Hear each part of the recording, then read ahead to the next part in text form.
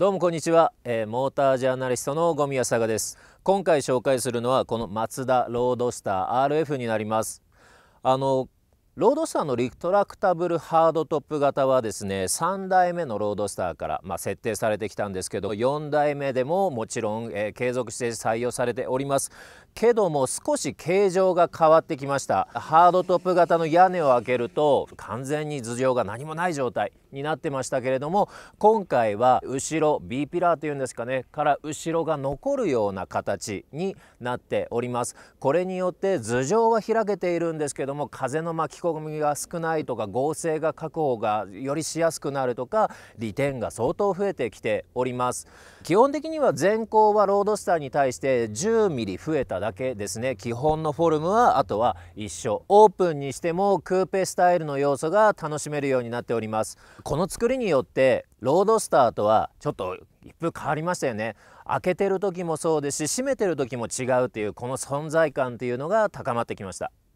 このロードスター RF の結構大きな注目はこのエンジンなんです。なぜならソフトトップのロードスターは1.5リッターですね排気量。これ2リッター積んでおります。なので馬力もトルクももちろんありますし走りも相当楽しめるかと思います。でこの中身の制御としてはミラーサイクル型直噴で可変バルブタイミングがついてる。でさらにはオルタネーターを使いながら加速する時にはより抵抗がないようにしながら減速の時に充電しようとかそういった充電制御もやっております。なので加速も鋭くエネルギー効率もよく、まあ、燃費よくですねも走れるという、えー、中身になっております。このスペックですが燃費は15.6馬力はですね158馬力6000回転トルクは20.4これ4600回転で発生します。これから乗りますけど楽しみになってくるような数値ですよね。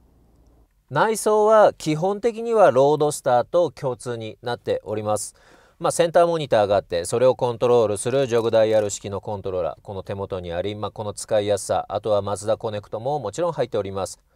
トランスミッション 6AT さらには 6MT で 6AT はこの手前側にスポーツモードもついておりますのでシフトの、えー、タイミングとかも、えー、変わってきます、まあ、この辺りはもうロードスターで熟成を重ねているものですから相当、えー、気持ちよく走れる期待が持てるかと思います。で今回用意しているグレードは VS グレードになります。このグレードになるとシートとかが、えー、ナッパレザーになり高級感が出てきますね。まあ他にも RS グレードというのもありますけどそちらは少しスポーティー傾向が強いというのかレカロシートがついたりもしますね。こういった形で好みを満たすグレード設定もなされております。最大の特徴はやはりこの、えー、ルーフハードトップが綺麗に開くことですね。まあ、3代目の時にはロックは自分で解除してあとは電動式でしたけどこれも完全なるフルオートになりました。もうボタン1つを押すだけで13秒で開閉することができます。しかも走行約10キロ以下であれば動いてる時でもまだそれが続けられる。そういった気の利いた、えー、作りまでなされてきました。実際やってみましょう。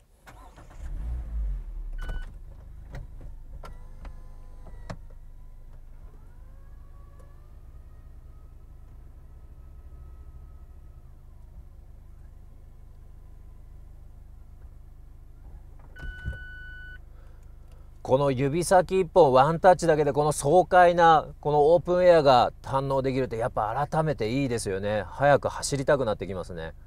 2シーターモデルにとってやっぱ大事なのはこのトランクです。2人乗りした時の手荷物とかやっぱここに収納するしかないですよね。でロードスターのハードトップ型はそもそもこれが魅力なんです。何かというとハードトップ型通常は開けるとここが犠牲になるんですね。ここに屋根が来るので。でも、えー、ロードスターは3代目もそうなんですけど開けた時にも一切犠牲にならない。4代目もそれを継承されております。127リッターも確保されております。なのでこのハードトップ型は使い勝手もしっかりと追求されております。それではこの快晴の中このオープンエア楽しんでいきたいと思います。